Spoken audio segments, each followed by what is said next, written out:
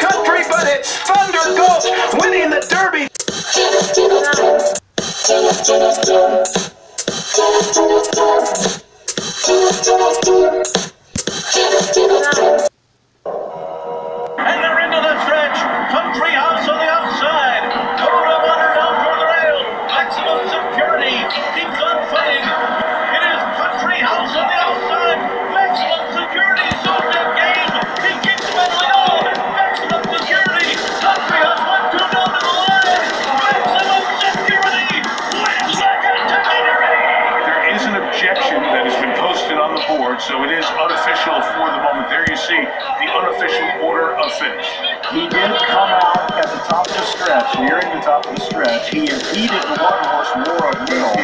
Right there is where number seven Maximum Security came out of lane two, forcing War of Will to steady. But you could tell by the reaction of Tyler Gaffalione on War of Will that there was definitely some contact. But it's hard to see that he did anything to Country House.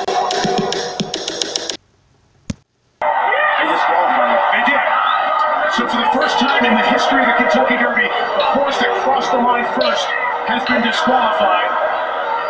After the objection, Country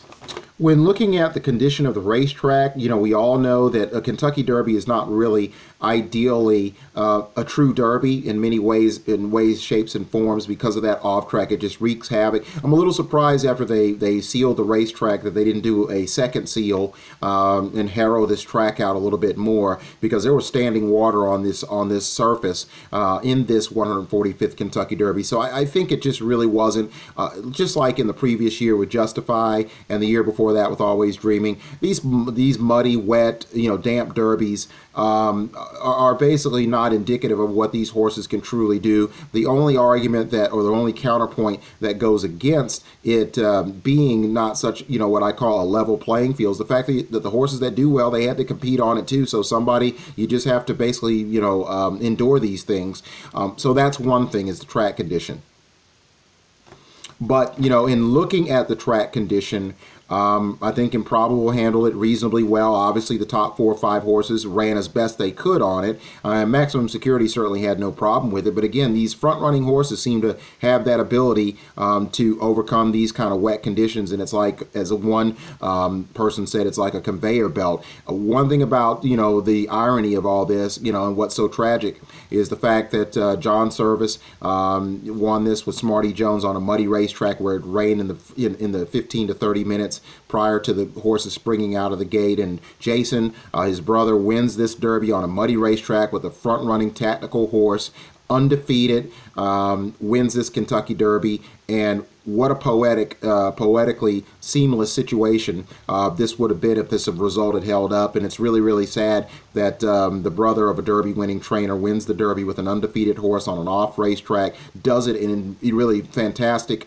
and in grand style, and gets his number taken down in a situation in which, granted, it was at a somewhat of a crucial point in the race, but I just don't think, um, for though I'm going to be in the minority, literally, not only because of this, but because of this, uh, my decision making, and I just don't agree with the decision, even though I do think he did interfere with other horses, and uh, obviously, you know, a horse that was unmolested and who actually affected one of the horses, as I mentioned, Long Range Toddy, uh, gets the win It's just one of those weird coincidences.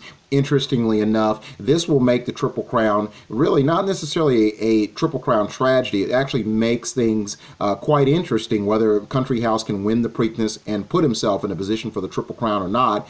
Uh, it's made the news meter, uh, the news wires uh, sort of jump up, and and uh, it's creating an interest, whether it be bad and indifferent, uh, to um, the thoroughbred industry. So in a way, in a strange way, it actually makes the Triple Crown very very interesting. There'll be a lot of eyes on Country House. Obviously, might, maybe not as many ratings wise because Maximum Security is not going to be in there, but yet still the Derby winners in there.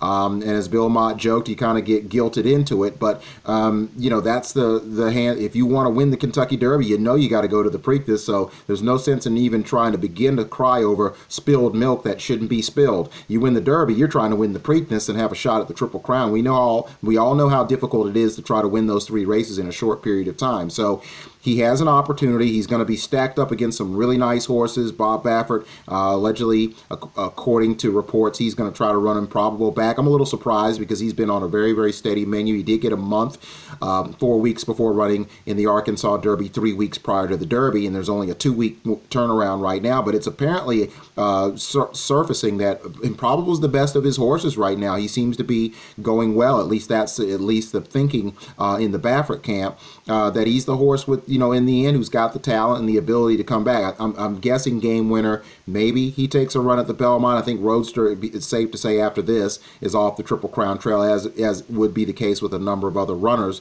But um, Country House will be an improbable, looks like an, uh, an entrant. Brad Cox has said that Owendale, the Lexington Stakes winner, and his uh, rivals that he defeated in there, Sueño and Anothertwistafate, who had already earned a Preakness berth uh, with his win in the El Camino Real Derby, are going to probably be likely candidates. Then you have Bourbon War, who was, of course, uh, fourth in the uh, Florida Derby, second in the Fountain of Youth, didn't have enough points to qualify for the Derby, as was the case with Kenny McPeek's Signalman. Uh, so that makes it very, very interesting. There are some people already saying that Country House would be lucky to finish fourth and hit the board and hit the super, but we'll see. Maybe he has a chance, uh, given his improved tactics, something that it you know does not seem to be uh, resonating with horses like Harvey Wallbanger and some of these other deep closers. Uh, one thing about Country House, a horse who I was high on after the Risen Star, maybe not so much going into the Arkansas Derby after fourth a fourth place finish in the Louisiana Derby, is that he has improved and he's starting to come around. And Flavien Prat, as I've said before, did a very very smart thing in getting him into the race, knowing that it would favor front runners. But that's the case with the Derby, even on a dry racetrack. So I think the track surface really doesn't factor into those adjusted and new new and improved tactics so much as just being smart enough to know you've got to really get into a rhythm and put your horse into a position that maybe he's not familiar with, but you know this is you know more than a grand experiment, and he handled it very very well, despite the fact, um, despite the belief that I don't think he should have been moved up uh, via disqualification. But he gets his opportunity to have the opportunity to have a shot at the Triple Crown and the Belmont Stakes uh, in the Preakness. There were two horses in the race that lost all chance to win a Kentucky Derby.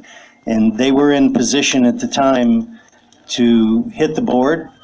I I know the stewards had a very, very difficult decision. I mean, I'm, I'm glad I wasn't in their shoes. I'm glad I didn't have to make the decision in front of over 100,000 people, you know.